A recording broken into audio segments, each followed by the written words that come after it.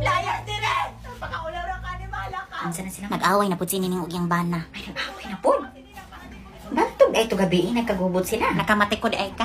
Na doon mo ginako dito sa balay. Nawa po ko kadungo.